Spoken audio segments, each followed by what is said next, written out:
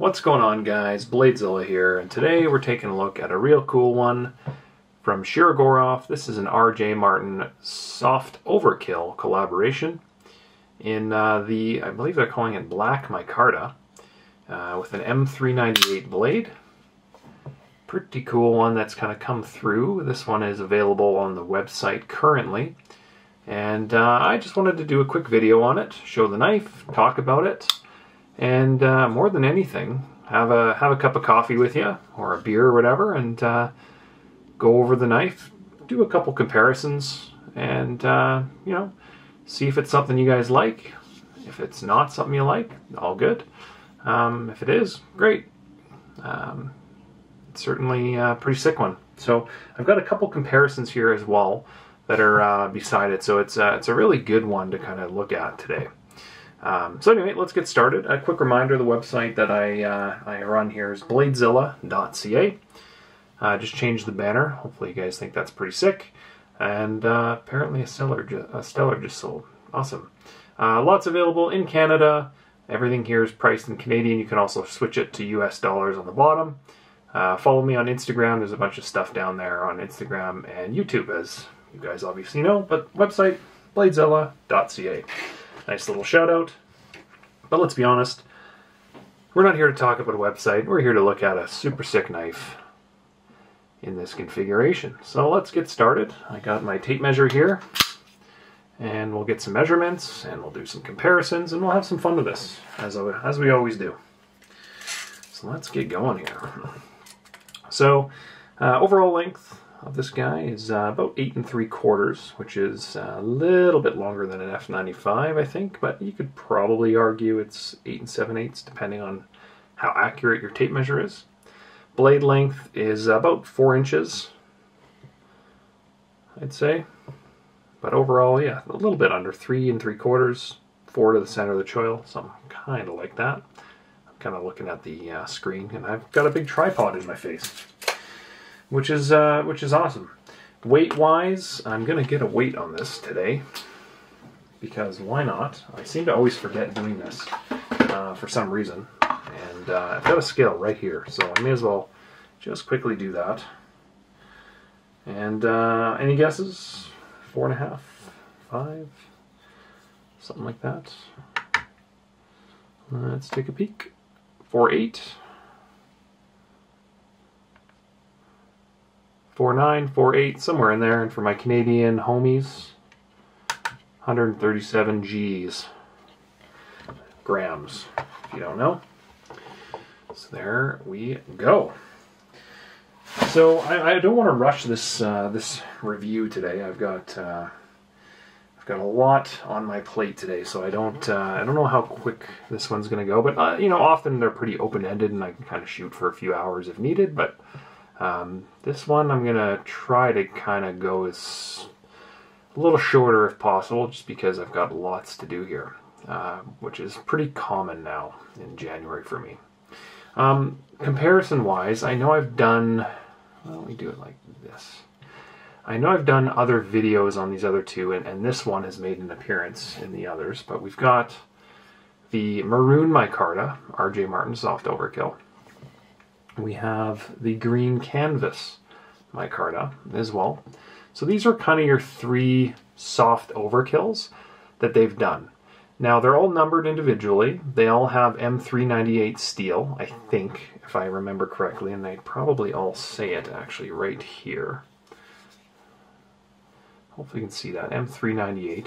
I just want to double check that because I thought Sometimes I go crazy, maybe one's S90V or something, but uh, M398. And it kind of acts as a confirmation that I'm not crazy. M398, so M, M398 all the way around. So they're essentially all the same knife. And if somebody does want to confirm that with me, because I often ask myself, has there been any subtle differences? I have not opened up any of these. And sometimes with production, depending on which color came first, they might make very slight alterations to the knife. And in this case, I don't think they did, but you never know. But those are kind of the three colors, and just in case we want a little close-up, you're going to be seeing a lot of this one today. You can see the rolling on the micarta there, which is awesome. but uh, it's always nice to kind of see a quick comparison on how they all look up close in case you are interested in tracking one of these other ones down at some point. You know, it's always great to see the colors, as online photos just never seem to do them justice. They're always just slightly different. This one feels a lot different than the other two in hand as well. A little uh,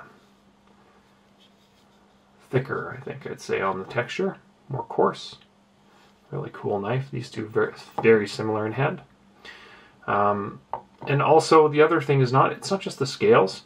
They actually have, I believe, matching back spacers as well. So if I go to the green, you can kind of see you've kind of got some pivot hardware there that's got a blue color to it. You've got the back spacer that's blue, and you've got the clip that's blue, right?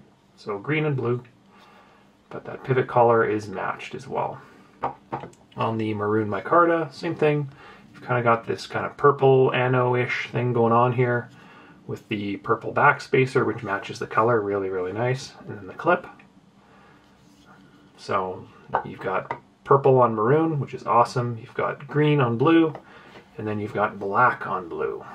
So this one has a little bit different uh, look to it, right? So it pops a little more in the in the pivot collar, and that you have that blue anno in there, the blue back spacer, and then the blue clip. So the true to color one, I guess, would be the maroon micarta, and then the other ones have kind of got this blue vibe going on, and they are a different blue. If anyone wants to see the difference between the two, they are slightly different. It's probably easier to show that way. Uh, if it wants to focus, come on, man. There we go. A little bit different between them. But those would be the comparables. Pretty cool. Pretty darn cool. So I'm going to put these two away. I think they've uh, made enough of a guest appearance. Um, as well, I will show some other RJ Martin ones. So I've got the uh, Russian Overkill here. This is mine. Um, very similar design, a little thinner, right? But still blue on blue with the collar. Um, more just full tie, right? And it's also M398, I believe, in a different spot. There you go. Frame lock versus liner lock as well. Um, my RQ36, one of you guys nabbed so I no longer have that. I am looking for another one. Um, denim overkill, those are all in the safe. Um, so the denims are all brand new. I'm not going to open those. And then um, the the molten as well is out with somebody as well. So yeah, I am. This is kind of it for the RJ Martin collabs. Holy smokes! I should have probably thought about this and brought a couple more out, but it is what it is. If you do want to check the Green Micarta video, on the uh, on the soft overkill. I think I have the RQ at that time. I've got the molten. I don't know if I the denims had arrived quite yet when I was filming that, but um, anyway, the main one everyone wants to see for some reason is this, the Russian overkill, which I still have yet to do a video on, which is crazy. Uh, there's just too many knives, not enough time. In terms of Shirogorov comparables, what do we want to see? I'll put this at the top.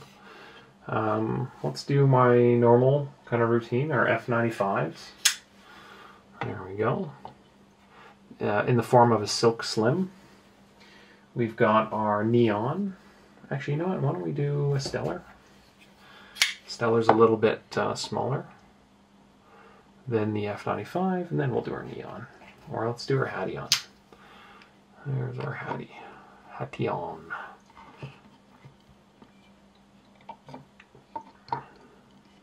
Try not to contact these, but there's kind of your your Shirogorov size. And remember, the angle of the camera changes the appearance a little bit of how these look. But for the most part, you kind of get the idea. And I could swap in the neon; it doesn't really matter. Versus the Hattion, it's the same same knife, just different uh, different weight to it, I guess. Different feel, less of them. Um, these stellar touches are also super sick. Um, at the time of filming this, um, I, I, had a few of them available, but uh, my god, super cool knife. This has become one of my favorites. Um, as well as the production stellars. Big batch of those just rolled through in uh, no time. And actually, you know what? Because I have one, I may as well show this knife. I don't think I've shown a ton of this one on the channel. But um, I will show the Astrum. Just from a comparisons point of view in that there's not much content on this knife quite out there yet. And it's always nice to show the size and how it is a lot slicker than an F95 uh, and people don't really know that yet. You know it's got a big blade a huge blade that fits inside the handle here. But in terms of it fitting uh, or comparatively you know compared to an F95 it's quite a bit thinner in uh, profile. So they look and they go, oh, it's a bigger blade. Everyone thinks it's the one uh, 110 kickstop. And um, no, it is not. It's like a big neon. It's pretty cool. It's probably my favorite knife um, I've ever owned, to be honest. And I've done a whole video on this in the past, but uh, there's just not many of them out there right now. This is the Astrum Sprint Run. And uh, this is currently in my collection as probably the last knife I'd ever sell. And that says a lot because I, uh, I've got a lot of them. And it's probably my favorite. And not just from a rarity perspective, I know they're all rare in their own regard, but it's just uh, one of those cool knives that uh, doesn't seem to come around very often, obviously, but it's just the profile is awesome. And then we're going to do a couple other comparisons here as well. We've got our Bio our Sinkovich Bio, also a little thinner. Um, in terms of collaboration pieces, we can do our Tom Mayo Dr. Death Shirogorov collab, which you can see is nicely covered in fingerprints. That's just uh, that's just me. Sometimes I sit here and flick some of these things. There you go. So there's another collaboration. That's a nice little uh, nice little picture actually of three different makers. That's cool. Tom Mayo on the bottom, uh, Dmitry Sinkovich in the middle, and then R.J. Martin. You don't usually get the, the bundle like that all together. Um, but it, it kind of goes with the, the whole theme of the collaboration, so I will definitely allow it. Uh, and then we've got one more here. Where's my Kami hiding? Uh, another Sinkovich collab, but I uh, figure I can show that one as well. Really cool blade. Cool Grind S110V, which is rare, and then the grind itself, uh, I think I've done a video on this knife, uh, itself is asymmetric. So look at that grind, how I rotate the knife around. Note the big bevel on there, if it wants to focus. There we go, and then as I flip the side around, whoop, it's gone. Super sick knife. Um, these are going to be, I think this might be one of those knives that's going to be hard to find at some point here just because it's so cool. So sick. Um, and then what else we got in terms of others? That would be a nice little comparable that we want to look at to the RJs. Well, I have an authentic RJ Martin. That is not coming out currently. It is also locked up. Uh, we could probably do the Grimsmo. That's beside me. There's a Rask for size. We could do our Sebenza 20, no, 31. Sebenza 31 or a large. There's a nice little comparison as well. And do we have a Rosie anywhere? Uh, there's Rosie. And our tried and true Rosie. That is a cool knife as well. And then maybe some comparisons that we don't see every day. Why don't we do uh, a couple other ones here? There's your Peter Rassenti Nirvana. And uh, my Pyrenees made down the road, which I still have. Did a video on that knife as, as well. Super cool knife. But uh, yes, there are knives in my collection other than Shirogorov. I know I'm an absolute Shirogorov slut, and I admit it, but I do like others as well. So there you go. I think that is a nice little comparison for a couple other brands. And uh, let's get started on this. So in hand, fits phenomenal. Jimping up on the blade here is nice and thick. The jimping kind of goes back to a reverse, I don't know what you'd call that, reverse inlaid jimping or something, which is nice. The jimping itself is also mirrored on the back spacer, kind of same similar pattern. So in your palm, that's what it's designed to hold. Uh, nice and grippy. It's it's an RJ Martin, so it fits your palm, fits your hand really really nicely. Ergonomics are terrific If we go down the blade itself, it's flat and rounded, and then it kind of pinches in at the tip, but you can go down this and uh, go pretty much anywhere on it that you want to utilize for small cuts. We've got the Shirogorov logo on the side here, and then I think RJ on the other side. RJM, there you go. Which is cool. They've kind of got some satin polished, or satin flats on it, as well as a mirror polished edge. And hopefully you can see that. The camera kind of struggles with that, but uh, it's, it's definitely a polished edge, which is cool. Uh, it's not nearly as mirror polished as, uh, I guess, it could be, but in terms of a factory made knife, it is damn good for what it is.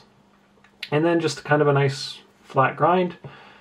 That's uh, the RJ Martin influence. It runs on roller bearings, which it has to be one of the smoothest um, roller bearing knives I own, and that's, I think, due in part because the blade itself is really heavy and thick so it's nice and controlled. Um, for new Shirogorov guys, you know, Shiro does single row bearing for uh, single row balls, ball bearings, which would be found on a knife like my Monkey Edge Quantum. So this guy's single row bearings. And it's actually written on the inside here. There's, there's a little pattern they use on a lot of their knives. They mark it for what it is. But uh, this is, would be like your standard ball bearing. Circles and a track.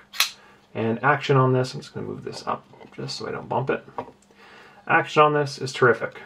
Um, for the price point, this is a full production knife. And that's a single roll bearing, okay? From there, we go up into multi-row bearings, which is kind of three of those same balls in, uh, in, a, in a line and kind of a pinwheel pattern, okay? So it adds stability from a side-to-side -side play perspective and that would be found on like this Hattie here.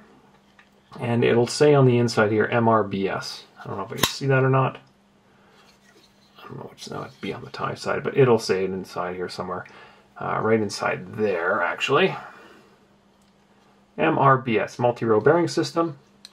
And it's just, they float home. They all float home.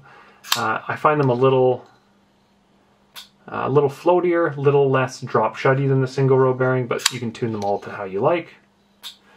Uh, so there's one example there. This guy's heavily used CCKS edition, and uh, this one's even firmer.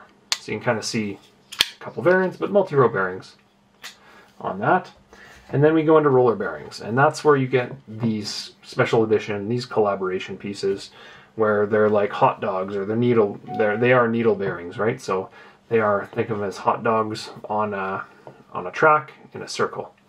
And then from there, they go into full customs and they do double row roller bearings, which is cut those roller bearings in half and put them in different patterns that are kind of unique. And um, essentially, once you feel one of those, your entire life is ruined, and uh, you'll remortgage your house, you'll sell your car, you'll sell yourself just to experience the smoothness that uh, double row roller bearings brings.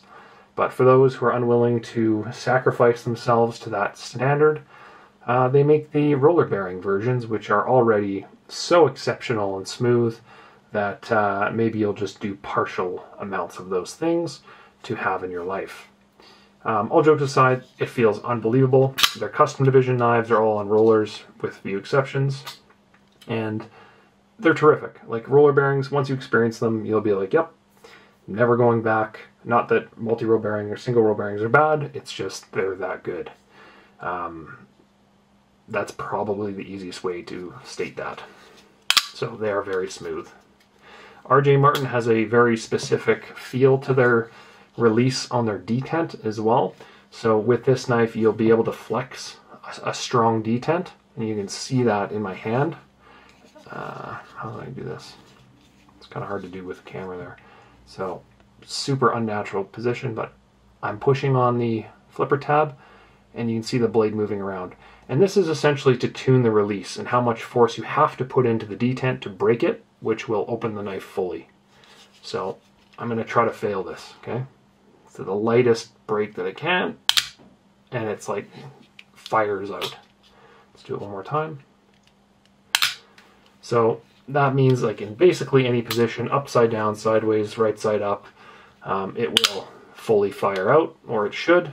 And it's got a nice crisp feel to it as well.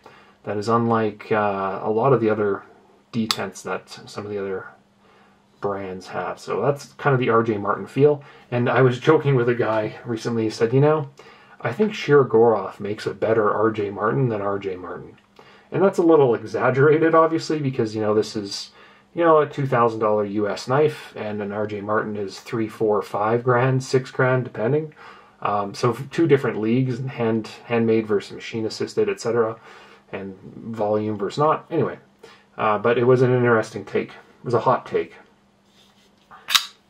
If we look on the inside of this, the tie sides uh, or the, on the inlays are all kind of uh, milled out for skeletonization, bringing the weight down to 4 point whatever I said, 4.8 I think it was. So it doesn't feel uh, it doesn't feel very heavy in hand. Feels solid. Feels very solid. Tolerances between the micarta and the titanium are incredible. And then a nice little treat on the inside there is you can actually see uh, underneath the back spacer um, some millwork for the blade to center into.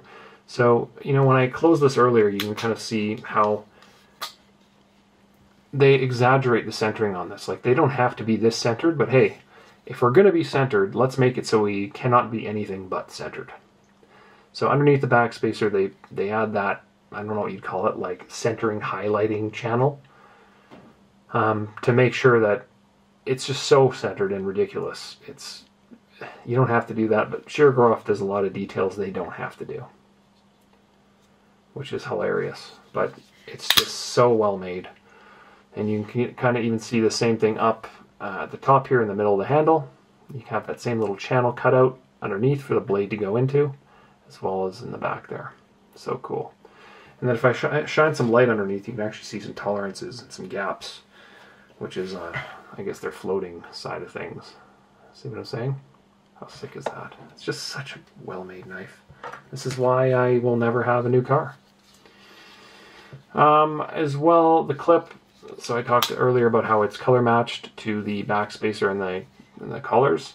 Uh, just a solid, well made pivot.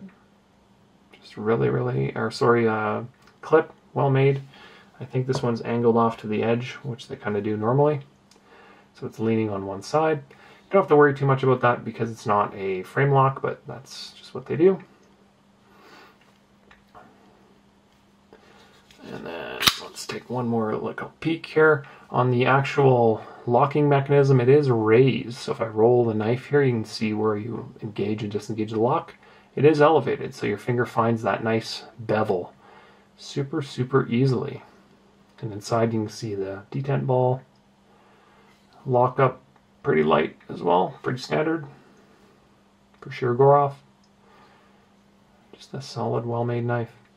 I love the flipper tab. Like RJs have huge flipper tabs. That's what she said.